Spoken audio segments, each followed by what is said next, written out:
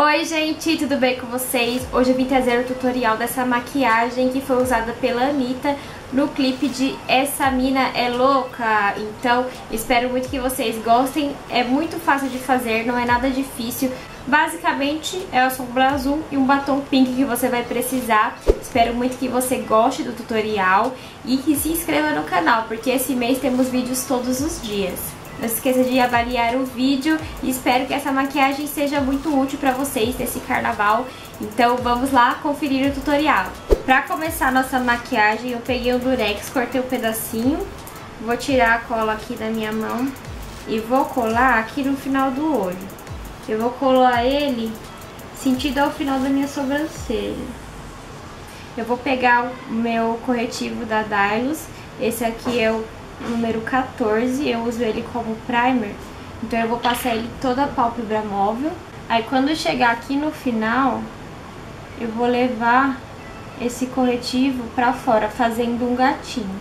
Aí a gente vai subir com esse corretivo até aqui, pertinho do nosso côncavo. Depois disso, eu vou dar batidinhas com o dedo. Vou pegar meu pincel azul, pincel chato, e vou começar a depositar essa sombra em cima do nosso corretivo. Depois que a gente depositou a sombra dando batidinhas, a gente vai pegar um pincel para esfumar e vai começar a esfumar essas bordinhas.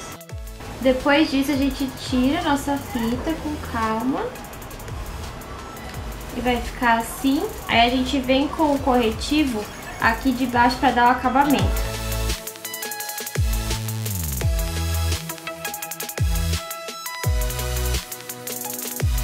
Depois que a gente deu o acabamento, eu vou voltar e vou passar aqui de baixo uma sombra marrom, um tom terroso.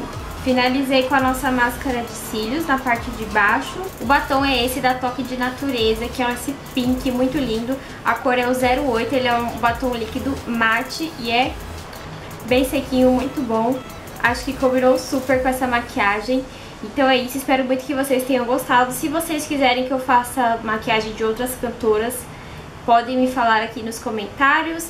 Espero que tenham gostado do tutorial, é uma maquiagem muito colorida, bem legal para o carnaval. Espero que vocês curtam bastante o carnaval. Não se esqueça de se inscrever no canal, é muito importante. A maioria das pessoas não é inscrita, então por favor se inscreva no canal não, para não perder os vídeos.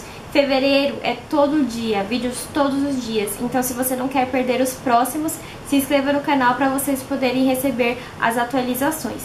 Muito obrigada por assistir, um grande beijo e até a próxima. Tchau!